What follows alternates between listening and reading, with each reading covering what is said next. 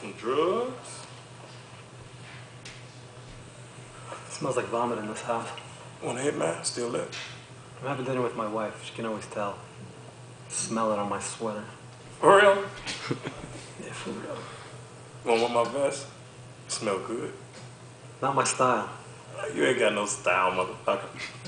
You have reached the voicemail box of Ted? Ted, it's Budlofsky. We're here. Saul's gone. And Matheson! And Matheson! Yeah, I think he knew we were coming. They're not here, Ted. Hi, Ted.